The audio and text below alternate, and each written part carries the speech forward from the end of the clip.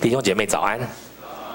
我们盼望一起来读神的话，请各位打开周报的第二页，我们要看今天的信息。同时也请你翻开圣经新约以弗所书第五章第二十一节，请你翻开圣经以弗所书第五章第二十一节，是在新约圣经的两百。七十三页，翻到了以后，我们恭敬的心来领受主的话。在教会服侍三十多年，我最常参与的圣功之一，就是为弟兄姐妹证婚，或者在婚礼里面参与一些服饰。三十多年来，我参加弟兄姐妹的婚礼上百次。我算了一下，证婚也超过一百次以上了啦。在主持婚礼的时候，我很看重每一个细节，因为通常那个是那一对新人一辈子的一次，唯一的一次，大家都看重这件事。我特别注意新娘的入场的程序，新娘入席虽然只是走一段短短的红毯，却是状况百出。所以，如果是我主理，或者是我替。新人证婚，只要是我有预演，是我预演的，我就再三的告诉新娘，她应该怎么走这一段，怎么走这一段，看起来很短，其实很长的红地毯。多年以来，新为新人预演的时候，我通常都亲自给新娘示范。新娘，我给新娘示范到一个地步，他们跟我说：“你又不是女的，你怎么知道怎么走红毯？”我说，因为我看到太多了，而且我也去跟人家那个呃那个礼服公司的人学，我告诉他们怎么处理。因为新娘踩到婚纱的比例是很高的，所以我就给他们示范了。我还告诉他们，万一踩到婚纱该有什么反应，应该怎么做才能让那个婚纱不继续被踩到，不继续被踩到。你要知道，连续踩了两三下，如果他是。有蕾丝到这里的那还好，只是觉得这样而已，对吧？那如果是有 V 领的呢？那就越踩就越深，对不对？那当然，你现在你已经结过婚了，或者你还没有要结婚，我现在不要在这边教你们。我都仔细的跟他预言，也告诉他会发生什么事，也告诉他怎么处理这件事情。即使是这么仔细的预言，十个婚礼当中。新娘总有五六个还是会踩到婚纱，而且让新娘觉得很难过。为什么很难过呢？因为第一预演的时候已经讲了，而且叫她回去练习了。她的呃呃难过是为什么我还会踩到呢？第二，他们觉得踩婚纱走红毯本来应该是呃很漂亮，哎，很很光荣，而且那天是她是女主角，你知道，嗯，新郎上来的时候大家都没有起立，对不对？新娘上来的时候，我们都起立了，所以她才是最佳女主角。可是她走起来完全不是那么一回事，有的时候是寸步难行，非常尴尬。新娘常常因为这样手忙脚乱而烦恼，新郎站在前面就不知所措，不知道要怎么办。那因为通常练习的时候，两个都一起教嘛。两个都一起教，他就觉得说说怎么会踩到呢？然后参加典礼的家人呐、亲戚啊、朋友看到他们的窘况，也插不上手，在那边干着急。证婚很多年以后，我自己也结婚很多年了。我第一个证婚的时候，我才二十四岁；我替别人证婚的时候，我才二十四岁。我才二十四岁，我结婚很多年了，也证婚很多对了。以后，后来我就发现一件事情：婚前辅导做了很多。婚后辅婚后都毫无作用，啊，婚前辅导是聊备一格，啊，能解决多少问题不知道。当然呢，这个这个没有做过实验，也不也没有对照组，对不对？而且每一组也都完全不一样，也很难说先教了或不教会有什么差别。不，无论如何，婚后感情很好的从来没有来谢谢我过，婚后吵架的都来了。所以我就知道那个比例婚后不和的很多很多。结婚多年以后，我也大部分就不要去参加，不必去参加那个，呃预演了，我也不用跟他们 rehearsal 过了。所以有的时候我们教会是没有，我们教会都坐在下面，很多教堂是坐在上面的嘛。我就因为是证婚的或者是呃呃呃呃正道的，所以我都坐在上面。我常常看到新娘走进来说踩到婚纱的时候，我就不会太紧张了。为什么不紧张呢？因为结婚典礼的这一个不顺利的小插曲，不过是婚姻生活当中一个小小的问题，而且是一个最小的问题，而且是一个毫不起眼的问题。等他生婚姻过了一段时间之后，他就发觉那个彩倒是没什么了不起的。我现在看有的时候新娘步步维艰的往前走，我常常在想这样也好，让他知道婚姻没有那么容易。婚姻没有那么容易。以弗所书第五章二十二到三十三节这段圣经，就是给夫妻写的，就是给夫妻写的，是写给做丈夫和做妻子的。当然，我们今天在座的有一些弟兄姐妹，现在并没有婚姻关系。那我相信这段圣经对你仍然有很大的帮助。为什么？因为婚姻是最基本的或者最亲近的两个人的人际关系。两个人的人际关系，如果这个部分你能明白怎么处理，注意听啊，你能明白怎么处理，大概你所有的人际关系都会改善。因为夫妻是最难的，没有比夫妻的人际关系更难的。如果你能够明白，如果你能够处理，如果你能够了解，那么对你的整个的人际关系应该有很大的改变。所以今天，如果你是个有婚姻关系的，那我请你仔细的想想你的婚姻，因为我今天讲的是圣经，我不是在讲我的经验。我知道人的经验、社会的风俗跟习惯，跟圣经有很大的差距。等一下我讲起来，你就会知道很大的差距。可是今天讲圣经，我盼望你能够用在你自己的身上。如果我们当中有人是没有婚姻关系的，也没有问题，我会告诉你，这段圣经仍然对你有非常大的帮助。因为你知道吗？天主教的修士跟修女他们，他们是自己愿意没有婚姻关系的。那么他们没有婚姻关系，他们以谁做婚姻关系的学习的对象，或者跟谁结婚呢？在他们的观音观念里面，修女。就是嫁给耶稣的，她以耶稣做她的丈夫。神父不是以耶稣做他的妻子，还是以耶稣做他的丈夫，还是以耶稣做他的丈夫。所以对他们而言，他们自己不要有婚姻这一件事情，他们仍然有一个结婚的对象。其实对我们每一个人而言，我们应该有一个学习的对象。我讲学习，不是我学习他哦，是我以他。当做我的学习，因为这个缘故，今天我们讲到的琴瑟和鸣，主要的当然是对着夫妻说的，所有的其他弟兄姐妹也应该有所学习。所以，我们周报的最下面会有三个题目，这个三个题目是你这周回去之后你要思想的，你要思想的。教会长老们经过讨论，决定要每一次有三个题目给大家，大家要把周报带回去，好好想一想，这周讲到完之后，我要。把什么活在我的生活当中？今天我们要来看的这段圣经，其实是指的夫妻，但在整个以弗所书的整个的结构里面，它还不只是指着夫妻，它把整个上帝对人类的心意写的非常的清楚。因为婚姻生活是一个人行事为人的一部分，而且是非常重要的一部分，所以我们知道这一段的圣经是提到夫妻的一段经文，但是这一段经文却不只是指着夫妻，因为他在整个的以弗所书里面的精神，我们发现它有一个结构性的问题。什么样的结构性的问题呢？那就是以弗所书，保罗被圣灵感动。所写下来的以弗所书是提到上帝在我们当中，在我们当中建造在三个合一的上面。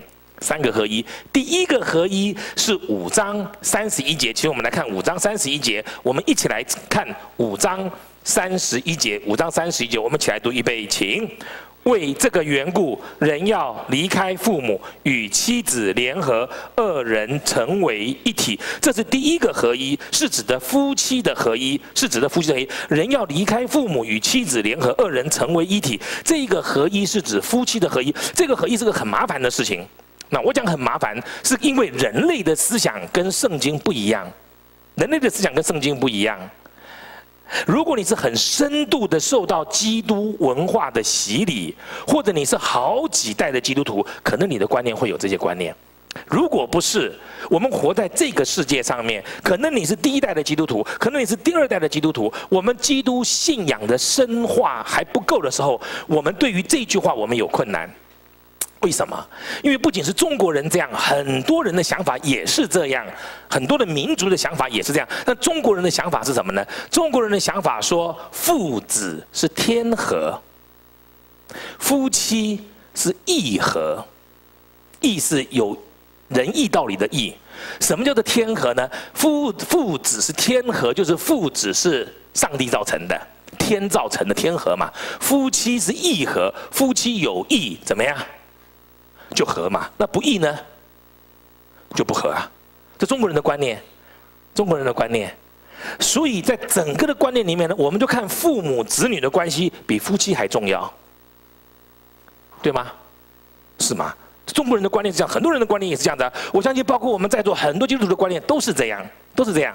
好，中国人还有一句话说：“兄弟如手足，夫妻如衣服。”啊，你们中文也不好。兄弟如手足，夫妻如衣服。所以你兄弟如果吵架，就就打断手骨了。夫妻如衣服，怎么样？可以换掉，所以多少时候家庭就纠结在这个里面，因为我在我们的观念里面，父母子女有血缘关系，甚至兄弟有血缘关系，可是夫妻却不没有血缘关系，所以可以离婚，啊。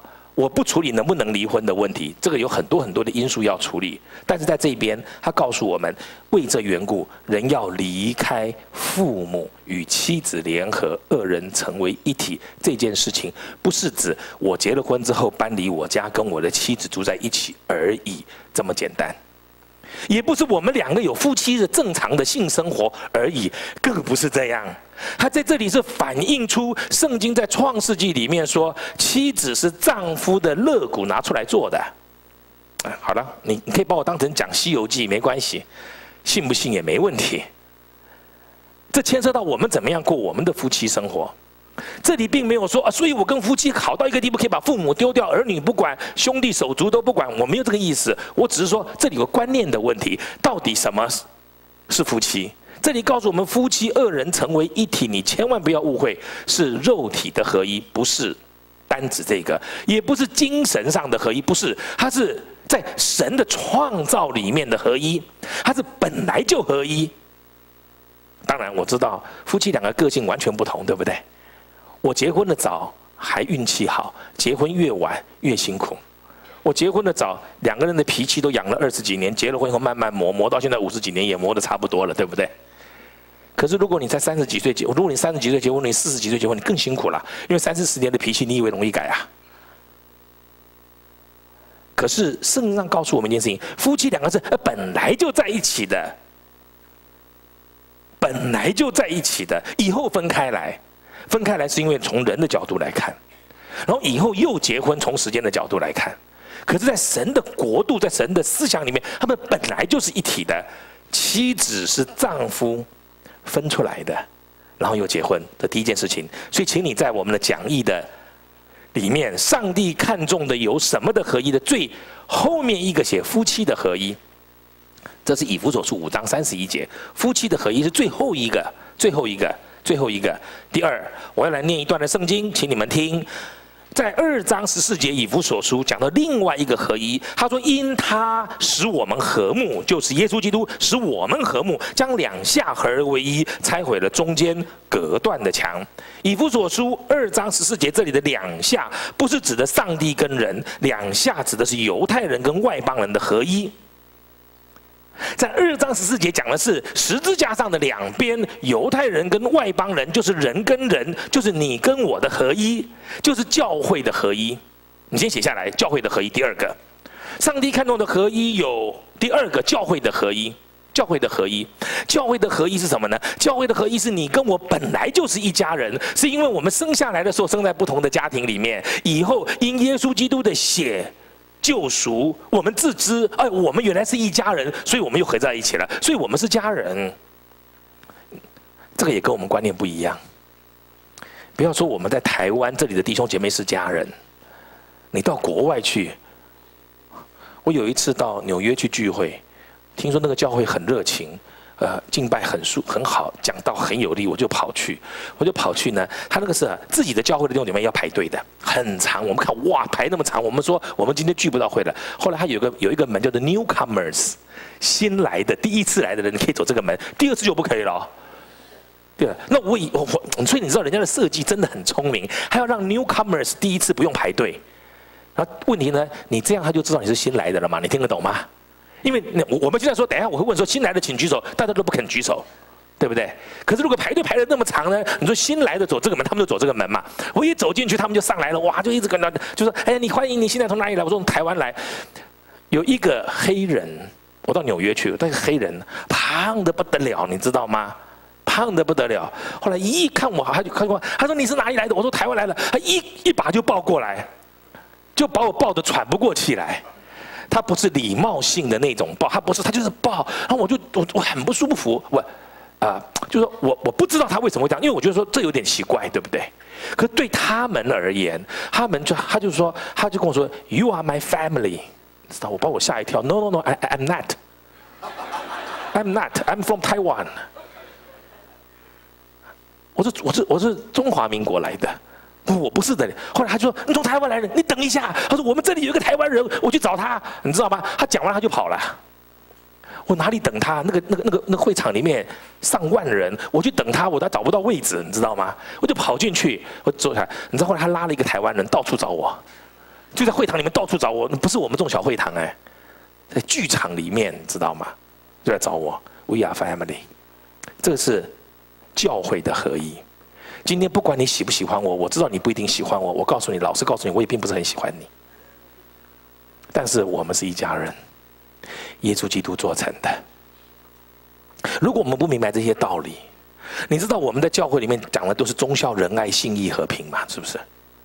不，我们讲的跟这世界上讲的真的不一样，因为这是圣经告诉我们，耶稣基督钉在十字架上，两下合而为一。两下合而为一，你跟我是一家人。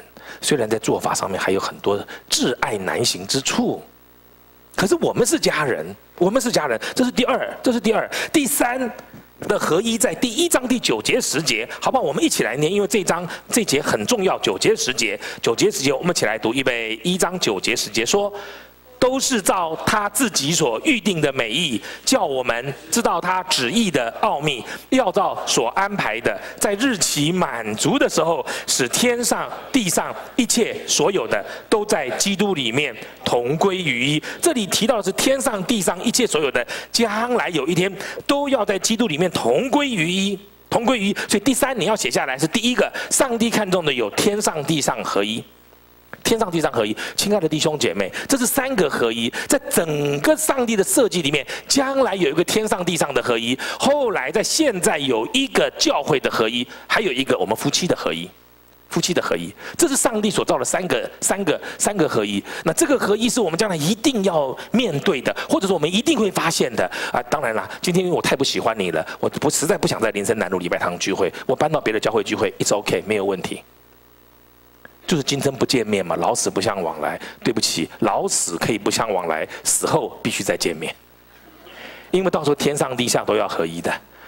你不喜欢我，到最后还要再见面的。那不然有一个办法，你别去。我是肯定要上去的，上不上了去那是我的事，对不对？可是如果你不喜欢我，可能你这辈子逃得了，也逃不了永远了。而且将来见面，我们都会认识。我今天没有时间讲那一块有关灵的部分，到时候我们一定认得，一定认得。虽然我们已经没有这个形体了，我们所有的上帝照他的形象和样式造人的，不是指这一个，是我们里面的那个灵。所以我们的灵跟我们分开来以后，这个肉身就成为土，以后已经结束了。就没有用了。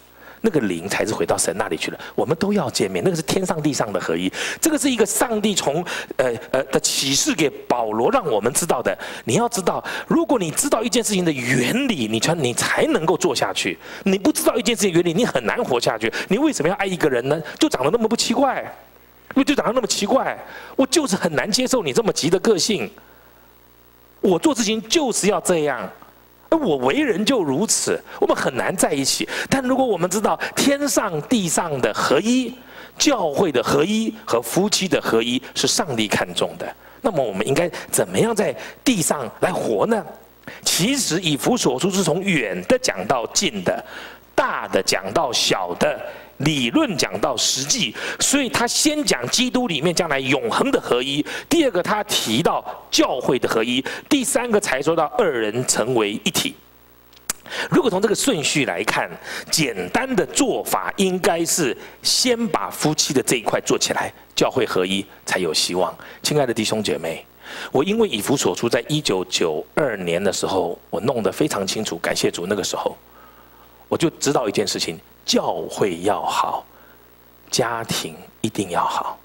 家庭如果没有好，教会不会好。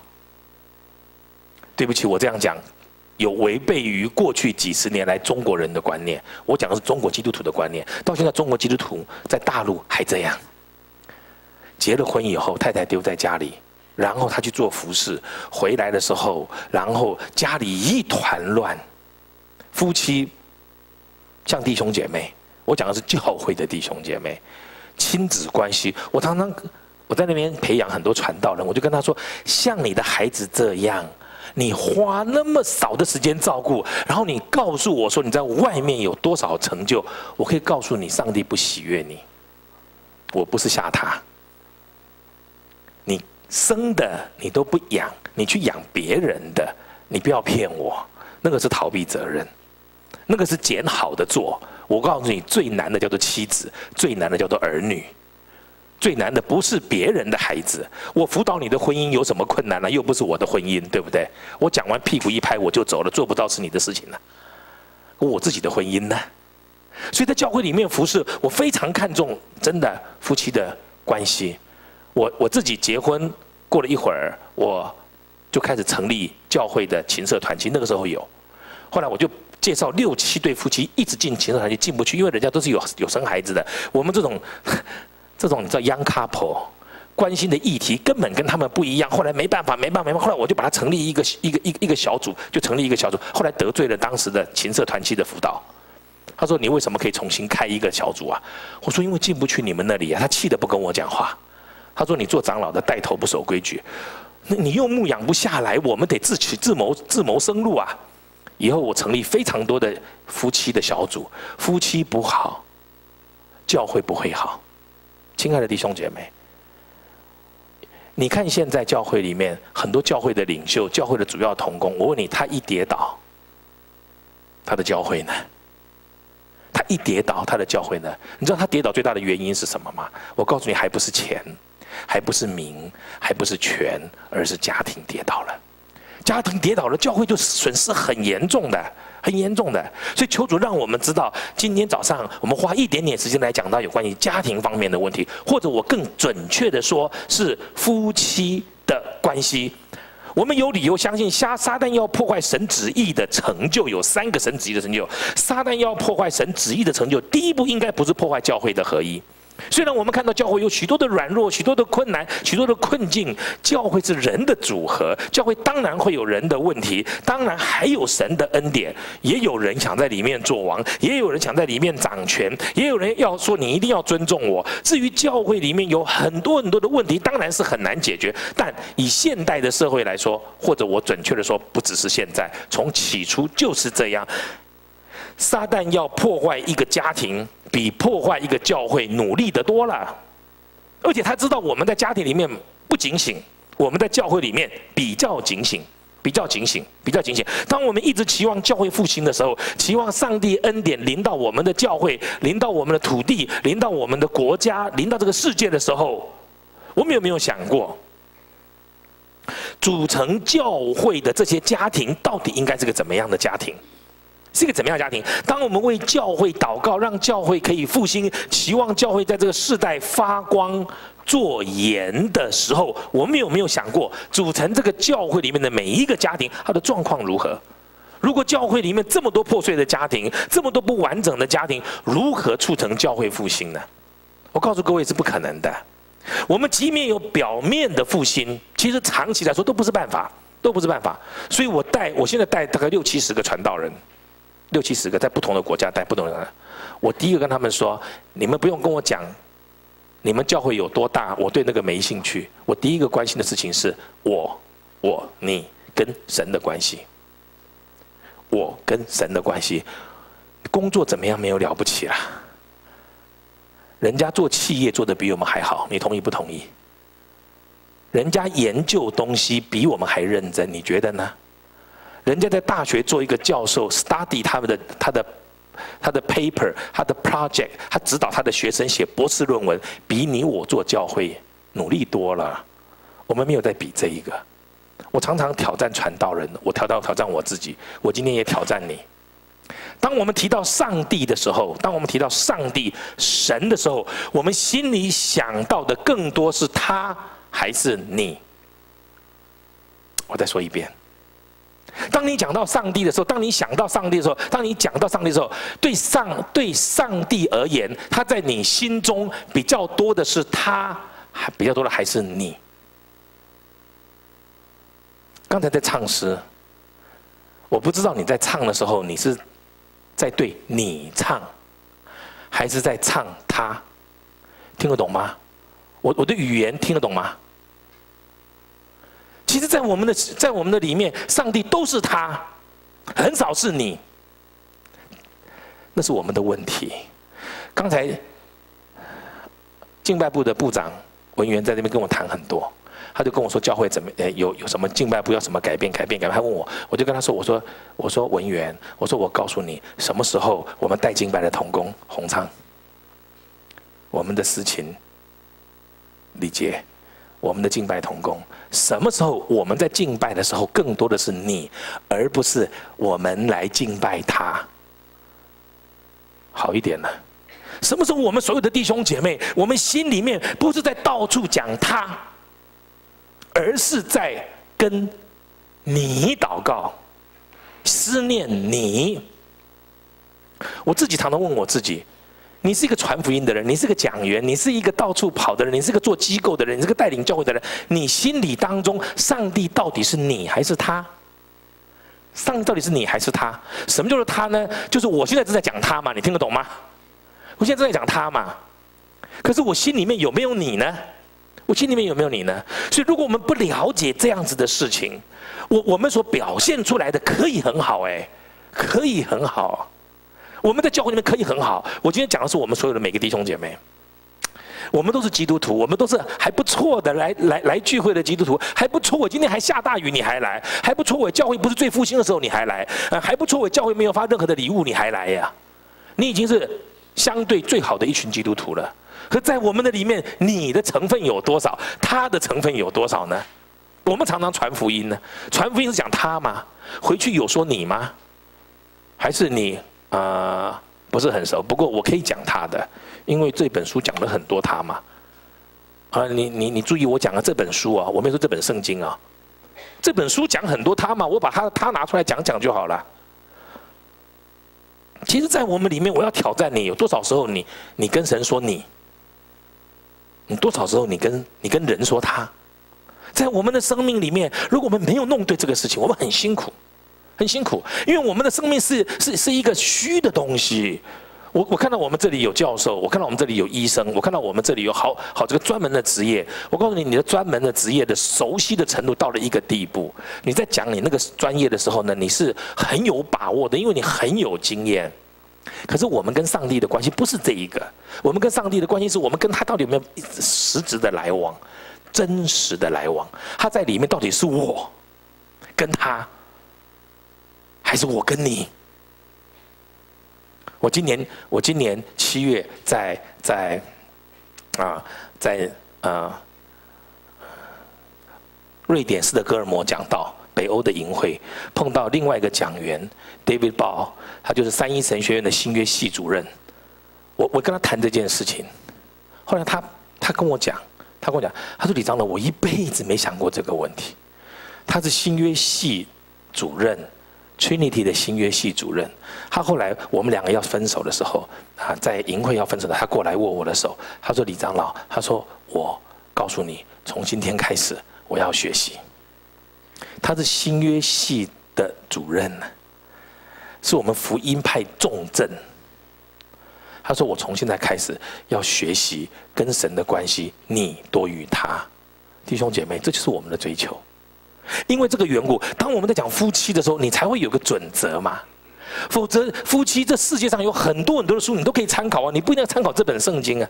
这本圣经翻的又拗口又困难，对不对？又不符合人类的思想，又不符合这个在世代的潮流，我们干嘛读它？亲爱的弟兄姐妹，因为这个缘故，我们需要了解。”我们跟上帝的关系如果没有弄清楚，我们不知道上帝的准则，我们很难把事情做好的。其实撒旦最常做的事情就是声东击西，他其实是要破坏教会。我们就看着教会，就没想到他破坏了我们的家庭，他破坏了我们的家庭。他主要的透过破坏家庭来破坏教会，在教会里面服侍，我们会为教会祷告；在教会里面弟兄姐妹相处的时候，我们非常小心。可是我们一回到家里呢，哎呀。有一个人最了解我们的，就是我们的配偶嘛，所以我们回去之后呢，完全放松。那我没有说叫你回家要要怎么样的装，我不是这个意思。我倒过来反而是说，我们有没有为我们家庭祷告？我们有没有守住我们的家？我们的夫妻生活是怎么样？我们怎么跟我们的父母的关系？我们怎么样跟我们子女的关系是怎么样呢？台湾的社会夫妻关系的破裂很严重，婚外情很多。我刚刚从美国回来，不是刚刚从美国，我刚刚去美国又回来了。我离开台北，回到台北的机场，出去回来五十五个小时，大部分时间坐飞机。我进美国三十个小时，我进美国海关就很很头痛。我上次也是进去两天，我进去他就把我抓到小房间去，他仔细的问我你进来干什么？所以我这次去我就一直祷告，我就跟主说，我这次只进来三十个小时，我怎么跟他说？我怎么跟他说？我就我就我就呃呃进去，呃进去了，他就问我，我就因为我心里已经预备好了。他问我说：“你进来做什么？”我说：“看朋友。”他看着我，进来几天？两天。他一直看着我，我就一直看着他。他说：“然后呢？”我说：“什么然后？”他说：“然后你去哪里？”我说：“我然后就回台湾了。”他说：“你进来多久？”我说：“我。”进来两天，他就看着我，他就签，把我签了，就让我进来了，就让我进来了。我到美国，我每次到美国，我都有个感觉，你知道美国很大，对不对？都在开车，是不是？然后我们走那个 couple lane，就是那个两三个人才可以进来的。而且我问他说：“哎，这这是两个人可以进来，还是三个人才能进来？”他说：“两个人就能进来了。”我说：“哇，这条路是顺的，你知道吗？所以美国人都是一个人开一辆车啦。”一个人开一辆车，我就心想说，每个人一人开一辆车，然后家又跟公司这么远，然后人际关系这样，婚姻能不出问题吗？台湾也是一样啊。我常常跟太太说，丈夫如果真的要偷吃，你绝对抓不到，你绝对抓不到。所以永远有小三，太太永远是最后一个知道的。所有人都知道了，你最后一个知道为什么？怎么样可以防止这样子的？亲爱的弟兄姐妹，教会里面、圣经里面有非常清楚的指导，请你写下来。夫妻相处之道，彼此顺服，互相联合，彼此顺服，互相联合。在以弗所书第五章二十一节到三十一到三十三节的夫妻婚姻的总纲里面，是两个人都要知道的事情。二十一节提到的是两个人要彼此顺服，不是只要求妻子顺服丈夫。但这个部分因为有点复杂，等一下我会有点点的讲。当我们读到以弗所书五章二十一到三十三节的时候，我们发现一件很特别的事情，就是你仔细的读这一段圣经，你发现竟然圣经上教导我们做丈夫的对妻子只有一个要求。做妻子的对丈夫的也只有一个要求。换句话说，上帝告诉妻子说：“你只要做了这件事情，你作为一个妻子，你就已经是一百分了。”又告诉丈夫说：“你只要做这件事情，你就是一百分了。”换句话说，你没有别的事情要做，其他都是都是衍生出来的。等你读完这段圣经之后，等你今天讲完，如果我讲得清楚的话，如果你也听得明白的话，我们会知道，婚姻不像社会上出的那么多本的书。他们说什么呢？怎样爱你先生一百招？有没有？我会这一百招，我就不用看你的书了嘛？你听得懂吗？我哪里有办法弄一百招呢？或者怎样为你妻子祷告？这都是错误的命题，不是怎样为你妻子祷告，应该是怎样为自己祷告。你都没为自己祷告，一天到晚为妻子祷告，所以你要改变，你要改变，你要改变，要改变。这就是我们的想法，因为我要他改变啊，我要他改变啊。祷告都是要别人改变。亲爱的弟兄姐妹，在婚姻里面，上帝有原则的。你只要照着这个原则做，你就会发现神赐福婚姻，并不是因为你是基督徒，知道吗？你并不因为你是基督徒，神就赐福你的婚姻，没有这回事。情是因为上帝要有一个原则，你要照那个原则做。当然，原则里面有很多的前提是基督徒才接受的，这个我可以。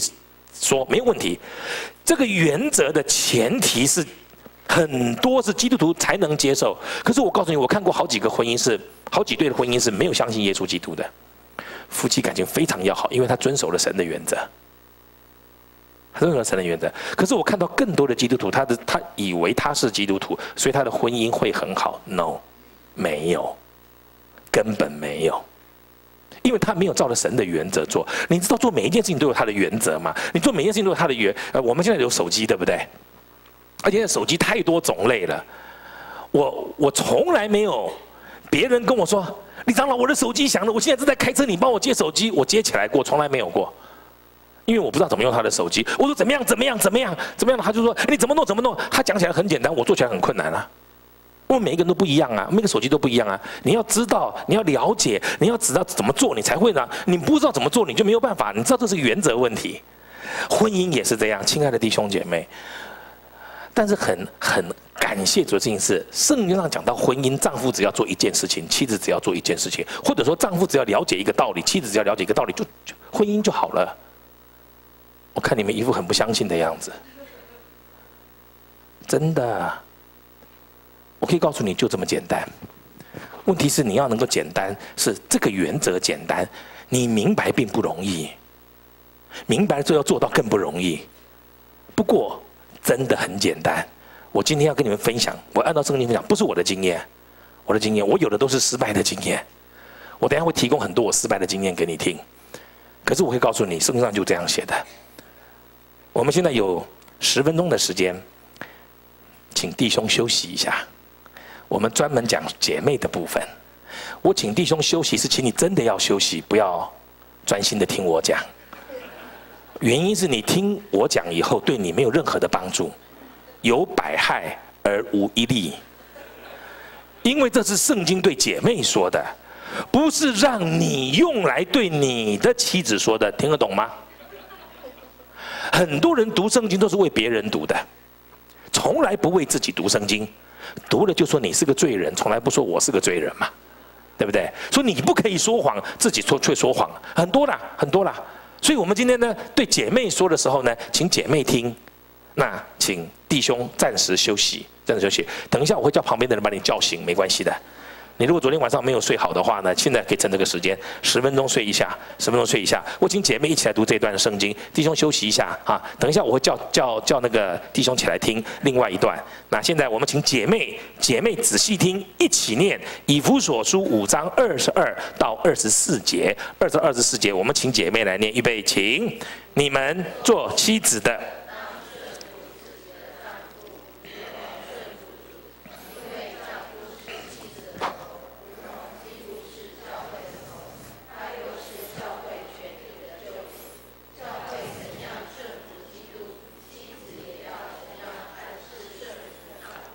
这就是圣经上对于妻子的要求，就是这么简单。有人听不懂吗？有人看不懂吗？没有嘛，很简单。我再为你们念一次。那不是我要求的哈。我再说一次，那不是我要求的。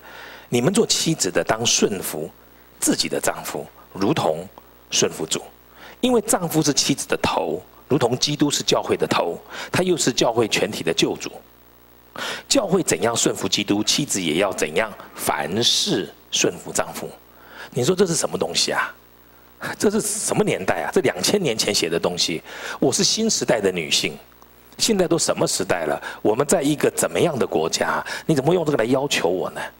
可是我告诉各位，这就是上帝设立婚姻对于妻子最重要的一个原则，就是顺服。许多做妻子的会说：“这简直就男女不平等嘛？为什么要我先顺服他，而不他顺服我呢？”嗯，也有姐妹跟我说：“我比他聪明，我比他属灵，我比他能干，我比他强，我为什么要顺服他？”我这样讲的时候，都不是，都不是，都不是假设的，都是有人亲口告诉我的。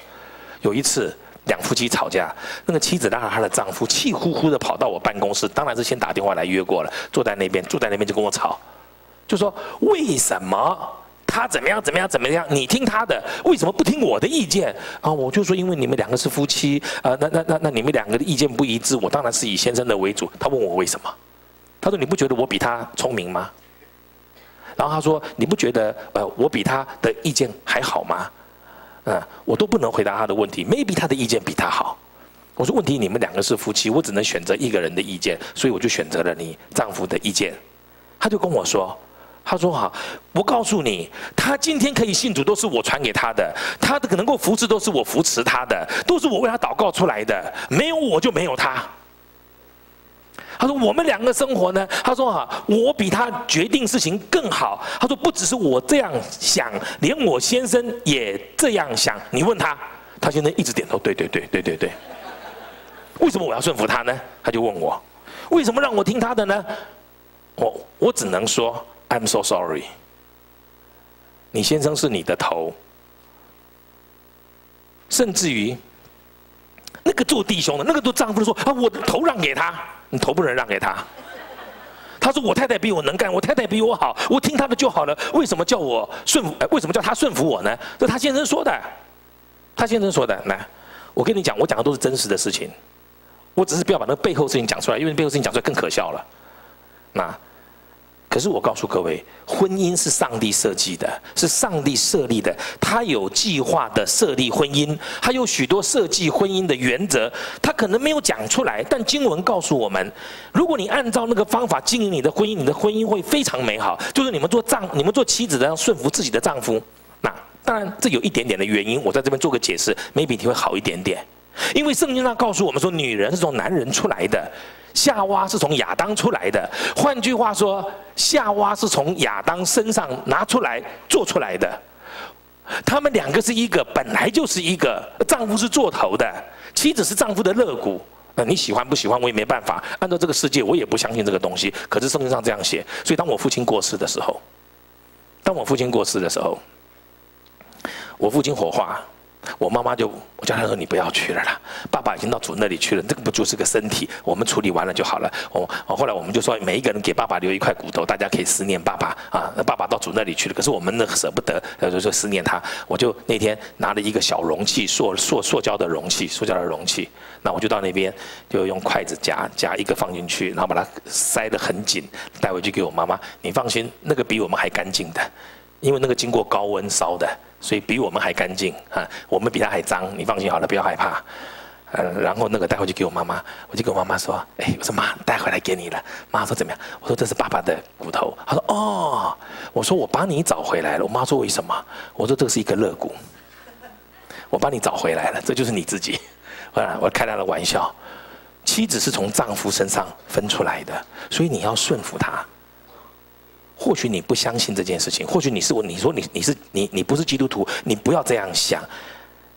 在婚姻的设计里面，上帝设立的男子做女子的头，丈夫是妻子的头，因为这个缘故，妻子顺服丈夫，妻子顺服丈夫，但所谓做头是个语言语文的问题，我稍微跟你解释解释。那有人就说，那怎么顺服呢？凡事听他吗？其实不是的，其实不是的，其实不是。当我们说到妻子顺服丈夫的时候，不是说完全不讨论、不考虑、不思想就把丈夫的话照单全收，没有，没有，没有，不是这样子的。他只是讲到谁到底要负最后的责任，到底是谁能负责任？我告诉你，妻子不能负责任。请你不要难过，丈夫醒一醒！我告诉你啊，婚姻永远是你的责任。如果婚姻失败，不要推给你的妻子，说你的妻子是泼妇，这个泼妇是你造就出来的。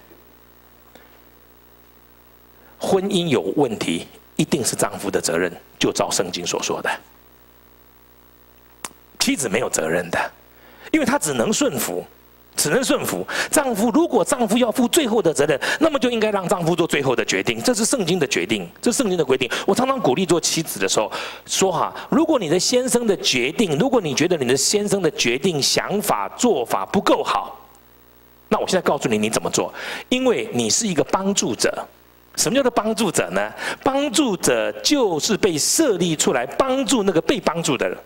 那被帮助的是什么意思？被帮助的一定有他的软弱，被帮助的一定有他的缺陷，被帮助一定有他的不足，被帮助的一定有他不够的地方，不然我就就不叫不叫帮助嘛，对不对？有一天我到一个姐妹家里去，我们夫妻去，然后她在那边煮饭煮得满头大汗，然后我就跟她说：“哎，我说你有什么需要帮忙的？”她就说：“你不要来帮忙。”我说：“为什么？”她跟我说：“你越帮越忙。”所以我不是一个帮助者，我不我不是个帮助者。后来有一个姐妹来，那个是很会烧菜的，她说：“有没有什么需要帮助的？”她就来来来过来帮助过来帮助，我就觉得这个人。很过分，对不对？我要帮助他，不让我帮助；而他要帮助，就让他帮助。你，你狗眼瞧人低嘛，对不对？不是因为我不是个帮助者，现在听得懂吗？听得懂吗？所以你做妻子的是个帮助者，显明上帝在配合你们的时候呢，你就是个帮助者，你就能帮助他，你一定能帮助他，因为上帝就是这样设立的。除非你们两个没有经过上帝同意就结婚，那我是没办法。如果你不是他的肋骨拿出来的，那我也没办法。可是因为你是上帝设立出来帮助他的，所以当你认为他不够好，他不够对，他不够完整的时候，而是帮助者。作为一个帮助者，你应该怎么帮助他呢？你要怎么帮助他呢？你应该鼓励他，你应该支持他，你应该劝告他，你应该跟他讨论，你应该想尽办法让他明白怎么样会更好一点点。这是你的责任，这是你的责任，这是你的责任，你应该要这样做的。所以你要用枕边细语也可以，你可以撒撒娇也可以。我告诉你，有的男人就是吃软不吃硬，你要摸透他嘛，你要帮助他，你要摸透他。他吃软不吃硬，你就给他吃软的，也让他吃进去了。那他如果只吃硬的，你就给他吃硬的，听得懂吗？所以有人问我说，可不可以跟丈夫吵架？当然可以跟丈夫吵架嘛，只是看怎么吵嘛，只是看怎么吵，怎么吵。啊，争吵、假吵、大吵、小吵没问题，理直气壮的讨论。如果你先生能接受的话，你跟他讨论，或者你小小的生气。那今天的问题是，到底谁要为整个婚姻来负责任？圣经上说是丈夫要负责任，所以你必须把最后的 decision 给他下。当然，你可以 preset 很多东西，到时候自然发生。他以为是他决定的。先生都在睡觉，你们没有听到，对不对？你可以弄一些东西，最后最后先生觉得说，嗯，是我决定的。其实你太太暗中插进去的，你听得懂吗？他就觉得很觉得自己很了不起。那你不就是个帮助者吗？帮助者，你要知道你是个帮助者，你要帮助你的丈夫做出正确的决定。但如果有一天，现在退退到最后了，但如果有一天，你一明白了他他并不想听你的，或者他已经完全懂你的意思了，他仍然要这样做，他仍然要这样做。你知道他的意思，你也知道他已经知道了你的意思，你也知道他确定明白你的建议，他最后还要下自己的建议，你就让他下建议，你你就让他做决定，因为只有他能做决定，你不能做决定。你做一个帮助者，只能这样啊！我是大厨，你是帮厨，我要这样炒，你给我建议，我听到了，我就要这样炒，谁是大厨啊？我炒出来就这样子，失败了是我做菜做不好嘛？会不会怪你？怪你那是我要怪你嘛？对不对？你并不会被怪到，听得懂吗？上帝非常公平的，所以做一个妻子，你可以这样建议。我我我结婚三十几年了，我前天刚刚过三十三年周周周年的纪念日，三十三周年纪纪念日刚刚过三十三周年。我上个礼拜在菲律宾，我去菲律宾回来，第二天去美国，已经回来了。我去菲律宾的时候，那天跟他们，也就就上个礼拜天，我在跟他们讲夫妻的时候呢，我就跟他们讲说：你们猜，你们猜，我结婚三十三年，跟现在还跟不跟夫妻吵，跟不跟跟不跟妻子吵架？他们所有人看着我。第一，我是个传道人；第二个，看起来我跟我太太感情非常好，因为大家都看到了。我说：“你猜我们还吵不吵架？”他们没有人敢说，没有人敢说。我说：“还吵？”他们高兴的不得了。哎呀，你们还吵，那太好了！怎么会不吵呢？你知道吗？这两个是独立的人格，怎么会不吵呢？吵是吵的，但是吵是一个过程，它是一个热烈沟通的过程，对不对？但最后下决定的时候，应该让丈夫做决定，以后他要负责。这样姐妹听懂了吗？你说那顺服到什么程度呢？顺服到如同顺服主，你说那更做不到了，那更做不到了。我怎么可能顺服他像顺服主呢？主这么好，主这么棒，他这么烂，他这么差，我要顺服他如同顺服主。啊，我叫你顺服主，是因为你当时结婚的时候有没有顺服主啊？啊，没有啊，那我是没办法了。如果你是顺服主嫁给他的，或者你相信是你你们是神配合的，神就这么大胆的决定把你嫁给这个笨猪头，你要怎么样？你要顺服主嘛？顺服主，不要顺服他，你要顺服主，因为你顺服主，你就只有顺服他，因为主要你顺服他，听得懂吗？听不懂？就显然你不够聪明的啦，你不够聪明的，还是顺服你的先生吧。看起来你的先生还是比你聪明的。那天那两个夫妻来吵架，后来我就跟他们说，我就跟那个太太说：“你顺服你的丈夫吧，你们两个意见不一样，顺服他吧。”他就跟我说：“他说李长老，我告诉你，我跟我先生。”百分之九十都是我听他的，只有百分之十他听我的。哪里我没有顺服他？百分之九十还不够好的顺服吗？他问我，然后问他先生说：“你说对不对？”他先生是真的说对，他先生不是被他逼的。他先说对，他说其实啊，百分之九十都是照我的意见，可是百分之十照他的意见。他就跟我这样讲，我说错，你们两个都错了。你，我指他太太说，你是百分之百不顺服你的先生。他太太非常生气，说：“你凭什么这样讲？”我说：“我凭什么？我现在告诉你，那百分之九十是已经经过你们两个讨论以后，你们两个的 agreement，你们两个同意的。那百分之九十都是你们同意的，或者你的先生的意见正好同意你的意见，所以你就听了他的。这不叫顺服，这些都不列入计算。有没有数学系的？不用数学系的，有没有稍微懂点逻辑的？”我问你，这百分之九十两个人讨论的 agreement 拿开，这不能计算嘛？剩下百分之十是两个人意见不一致的嘛？我跟他太太说，在你们两个讨论完了以后，意见不一致的到底是听谁的？他愣在那边，所以我说你是百分之百不顺服你的丈夫嘛？他一听，他说是这样算的吗？哦，当然是这样算的。意见一致，哪里有谁听谁的呢？意见一致就没有谁听谁的了嘛？对不对？哎，我们跟中国大陆讨论事情，意见一致，谁听谁的？没有谁听谁的嘛？那意见不一致呢？对不对？我们都不要讲了嘛，对不对？那意见不一致呢？所以我跟他太太说：“你是百分之百不顺服你的先生。”我告诉你，那个姐妹比我大十岁。她看了我，再看她先生，她先生看看她，然后就跟我说：“没事了，我们走了。”她跟她先生站起来之后，跟我说一句话：“她说李长老，谢谢你，我今天才知道，我头一天知道我是百分之百不顺服我的先生。顺服不顺服，是指到最后下决定的时候。”不是过程，过程当然有讨论嘛。你做一个妻子的，你不用帮助你的先生吗？你不用建议他吗？你不用鼓励他吗？你不用支持他吗？你不用安慰他吗？你不用提供意见吗？你不用考虑他的状况吗？他从外面回来累了个半死，我告诉你，最好的办法就是把遥控器交在他的手中，让他看电视看半个小时。你不要去吵他，他快烦死了。你以为外面钱这么好赚了？他回来都快要疯掉了，你就把他，你最好买一个，就是有一个房间里面只有电视跟他，你让他看半个小时电视，他从里面爬出来的时候，你就知道 better，你们可以开始讨论事情了。那你再该把你的意见弄进去，最好是在电视里面放进什么东西，让他看了以为他自己想出来的。你是聪明的妻子，亲爱的姐妹，当我这样讲的时候，或许你会说很难，我知道很难，但是我告诉你，等你听了先生以后，你就会觉得你宁愿做妻子。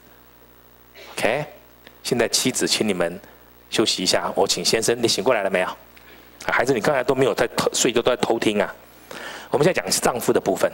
我请丈夫讲，我讲丈夫的时候，妻子可以偷听，可以偷听。为什么呢？因为哈，因为你是个帮助者，你你必须要帮助他。他可能有困难，他可能有困难了解。因为按我结婚知道的比例，妻子比丈夫聪明的，比丈夫比妻子聪明的多很多。所以现在请帮助者帮忙先生听，可是你不要教他，你不要教他。那现在请先生来念，请丈夫来念，请弟兄都来念。请弟兄都来念，我们读二十五到二十九节，大声念，好不好？预备，请你们做丈夫的要爱你们的妻子，如同基督爱教会，为教会舍己，要用水借的道把教会洗净，成为圣洁，可以献给自己，做个荣耀的教会，毫无玷污、皱纹等类的病，乃是圣洁、没有瑕疵的。丈夫也当照样爱妻子。如同爱自己的身子，爱妻子便是爱自己了。从来没有人恨恶自己的身子，总是保养顾惜，正像基督待教教会一样。我请弟兄听我再念一遍，包括我自己在内，你们做丈夫的要爱你们的妻子，正如基督爱教会，为教会舍己。要用水借的道把教会洗净，成为圣洁，可以献给自己做个荣耀的教会，毫无玷污、皱纹等类的病，乃是圣洁、没有瑕疵的。丈夫也照样，你当照样爱妻子，如同爱自己的身子。爱妻子便是爱自己了。从来没有人恨恶自己的身子，总是保养顾惜，正像基督待教会一样。好，我们把答案都写下来。妻子顺服丈夫，如同一顺服主，请姐妹写就好，弟兄不用写了啦。妻子顺服丈夫，如同顺服主。第二，如同教会顺服基督，这是给姐妹的，你写下来。我给丈夫的，丈夫丈夫爱妻子，圣经说如同基督爱教会。第二，如同爱自己的身子。妻子是写如同顺服主，如同。教会顺服基督，丈夫写的是如同基督爱教会，如同爱自己的身子。刚才读到姐妹或者妻子只有一件事情要做，叫做顺服。当然，我把顺服已经做了解释，对你来说应该不太难的啦，应该比你想象的简单啊。你并不是没有空间，反而倒过来说你空间很大。现在讲丈夫，丈夫空间太小了。丈夫几乎没有空间，为什么呢？因为做一个丈夫，圣经告诉我们要爱我们的妻子。我请问你，圣经上不全世世界上最难的就是什么？爱吗？还有比爱更难的东西吗？还有比爱更难的事情吗？我讲的不是爱钻石，我讲的不是爱可爱的太太，娶进来的时候都是白雪公主。没想到几年就变黄脸婆，不是吗？爱哪里有这么简单呢？全世界我们永远学不完的功课叫做叫做爱。圣经要求做妻子的顺服是被动的、消极的。换句话说，当你做了一切努力之后，你没有办法的时候呢，你只有顺服嘛。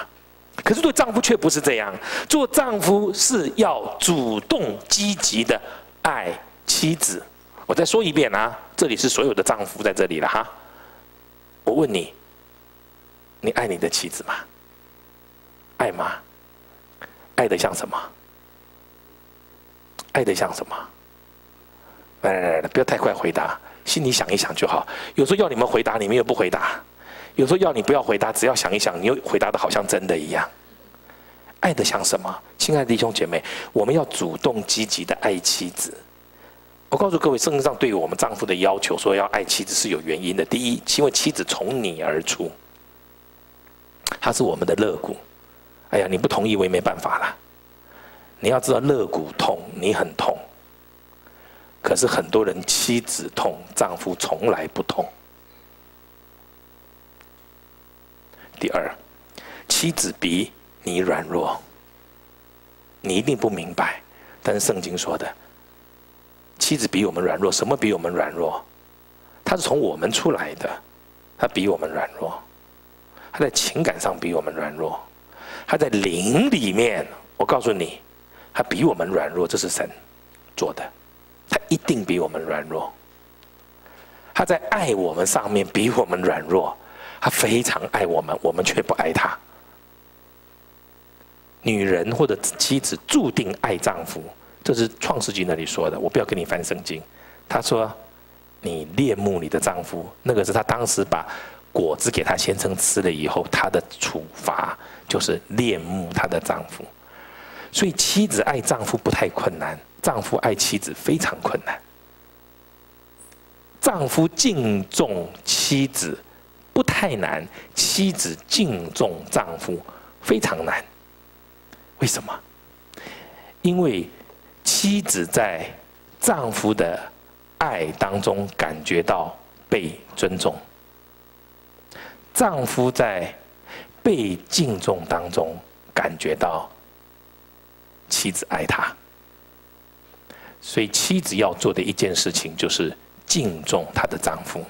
敬重，换一句话说，就是顺服。当妻子顺服丈夫或者敬重丈夫的时候，丈夫就自然而然成为头。为什么很多丈夫做不了头？是妻子不让他做头。当妻子并不把先生当做头的时候，丈夫是做不了头的。当丈夫不爱妻子的时候，妻子是没有办法顺服他的。圣经很特别的一件事情，在这件事情上面提到这件事情。我们刚才提到，丈夫是最后做权柄的，最后做决定权的人，他一定有被要求一件事情。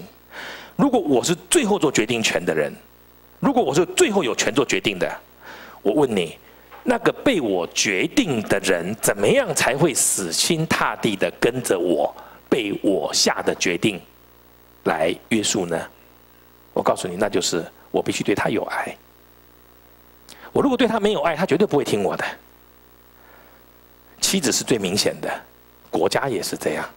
什么时候老百姓觉得国家爱我的时候，他为国家肯牺牲的；什么时候老百姓觉得国家不爱我的时候，你有多大的权柄，你继续征你的税，我就讨我的税；你征你的兵，我就讨我的兵。你要下什么决定，你下决定。君王如果是臣民如小偷，臣民就是君王如强盗。我这是翻译过的，所以只有爱。我现在在讲，不在讲国家，我在讲丈夫哦。你不要跑到别的地方去了。我在讲丈夫，Are you here？你有没有在听？你唯一让你太太顺服你的方法只有一个，就是什么？爱他，爱他，什么叫做爱他？你有没有想过他在想什么？你有没有想过他需要什么？这里说要用水借的道把教会洗净，可以献给自己做个荣耀的教会。然后说毫无玷污、皱纹等类的病，你连香水都不肯给他买，乳液都不肯给他买，难怪他有玷污皱纹嘛。他想要的你又不给他。弟兄姐妹，当我们讲爱的时候，不是你爱他，是他感觉你爱，听得懂吗？我们教会有一个医生，二十年前，他们两个结婚，我给他们证婚了。过了不久，他们两个找来了，跑来找我。他说：“我先生爱的我受不了。”我说：“哈，哎呦，爱的受不了的这种事情呢？”我说：“那不是很好吗？”他说：“你不知道，他现在是学医的。”他说：“我先生哈说，女人最适合吃的水果叫做小番茄。”他说呢，所以我先生呢，永每一次就叫我吃小番茄。呃，可惜我这一辈子最恨的就是吃小番茄。他现在就跟他说：“你吃，你吃，你吃，不管你喜不喜欢吃，你吃对你非常好。”你知道他太太说：“他太爱我了，我受不了。”啊，我纠正他，这不叫做爱，这不叫做爱。他太太也跟他说，跟他先生说，当着我面跟他先生说：“他说我告诉你。”我我吃这个你认为对我身体好的东西，因为我身体很不舒服，我很不喜欢吃，我很生气，抵消的结果可能吃小番茄对我还是有害的，听得懂吗？这不叫做爱。爱不是以我为中心的，爱是以对方为中心的。他感觉什么叫做爱？有一对夫妻来找我吵架，吵架，请我们两个去吃 buffet，好叫我们可以在轻松而缓和的气氛里面，能够解决他们夫妻的问题。他们很多的问题都不讲了。有一件事情，他太太跟我说，就跟我们说，我跟我太太去，他就跟我跟我们说哈，说我先生跟他就说，你为什么不买花给我？他先生说买花要干什么呢？他太太说我就是喜欢花。我告诉你哦，比我还大，差不多将近十岁哦。他说我就是爱花。他先生说花剪下来就死了，你为什么不让它长在野地里面呢？他太太说那不关我的事嘛，我喜欢送花，我喜欢被人家送花，人家一送我花我就感觉到很高兴。他们结婚将近三十年，他先生从来没送过他花。他先生说如果你要送钻石我可以，送花我有困难。我就跟他说：“你哪根筋不对啊？你送他钻石要花这么多钱，你送他花不就解决了吗？”他先生说：“问题是我不喜欢花，没有人问你喜不喜欢花，好不好？是他太太喜欢花这样子。”后来我把他骂一顿，他就说：“好了，好了，好了，好了。”我说：“我真的觉得你很怪呀，你，你不是收入很少的人呢？你不是收入很少的人。”我跟他说：“我要是你，我就到那个花店里面去。”订花每天给我送六百到一千块钱的花，每天送，听得懂吗？然后把它插出来，每天送不一样的，然后上面都是要插一个牌子，对不对？写亲爱的什么，然后然后写一段文字，然后下面写一个落款，对不对？我说叫他去抄情书大全，随便他抄，反正给他送去就好了。你知道他太太怎么说吗？我就要这个东西。他太太他先生他先生说哦，我我明白了。我就跟他说你明白没有用，你做不做？好了好了好了好了好了，后来我们就去拿菜拿菜，讲完了我们两个去拿菜，我就跟那个弟兄去拿菜，我就心里很高兴，今天我饭也没白吃，对不对？对，总算好事做一桩，对不对？坐到这边拿菜的时候拿拿拿，然后拿拿拿走来走去走来走去，后来回来他就跟我说，他说李长老，你觉得我真的需要买花吗？我告诉你，到现在他还没有送花。我我不能说他不爱他太太。我只能说，他爱按他自己的方式爱他太太，他太太没有感觉。I'm serious，都是很认真的说这个话的。他没有感觉，他太太没有感觉。你为什么不能照他的方式爱他呢？亲爱的弟兄姐妹，今天我们爱都是用按自我中心，自我中心。我这样爱你，丈夫要爱妻子，如同爱自己的身子。你要体谅他，你要体会他嘛。来，你们看我哈，你们很多都是我们教会几十年的会友了。我问你们，你们很少看我穿西装上来讲道，对不对？You know why？你知道为什么吗？因为我怕热。即使是非常正式的场合，有的时候领会都穿西装了，我就没有穿上来。可是我每次都带来，然后我每次都先穿着，等到要上来的时候就脱下来，我就表示我有穿西装来。你听得懂吗？那我我那我为什么不穿西装上来？因为我很热。有时候苏青也穿西装上来领会，陈时林是每次穿西装上来领会，洪昌是穿的比较 casual 的西装上来领会，就是讲原则。我我告诉你为什么？因为我怕热。我我我我通常一个礼拜如果讲到三次，我里面内衣一干了，湿了又干了，湿了又干了，湿了又干了三次，我才回家。所以我就如果这西装再穿起来，我就受不了了。你看我多体贴我自己。我宁愿让你们看的不太顺眼，没穿西装，我才懒得理你呢。我爱我自己，我什么时候这样爱过我的太太了？亲爱的弟兄姐妹，丈夫跟妻子哈，婚姻如果没有婚姻如果出问题，丈夫你不要生气，我也把你稍微抬高一点。我告诉你，你要负百分之八十以上的责任。你不要告诉我，我妻子多么的泼辣。我妻子多么的不听话，因为你是头，因为你可以爱她。姐妹都不要回答我，都不要回答我，我只是问你一个问题，你心里 say yes or no 就可以了。我问你，如果你的丈夫像你这样，像你所期望他爱你的那样爱他，你会不会顺服他？不要回答。如果你丈夫爱你像你所期望那样的合理的，你自己要合理哦，你不能乱合，不能乱来哦。合理的这样爱你，你会不会顺服他？一定会的，因为当你在跟他沟通的时候，他就会因为爱你而想到你很多的立场，所以他就容易做出一个正确的决定。那么你就很容易顺服他了嘛，甚至不需要顺服他，因为你们已经达到一致的看法了。所以百分之八十在丈夫的身上。我年轻的时候有一次非常生气，因为我跟我太太意见不一致，那时候很年轻，二十几岁。我有一天我就跟我太太说：“我说我告诉你，圣经上也说，圣经上说说丈夫妻子要顺服丈夫，如同顺服主，你知道不知道？”我太太说：“我知道啊。”那我就觉得说，那你就那你该我就跟他说，那你就该顺服我啊！你知道我太太怎么跟我说吗？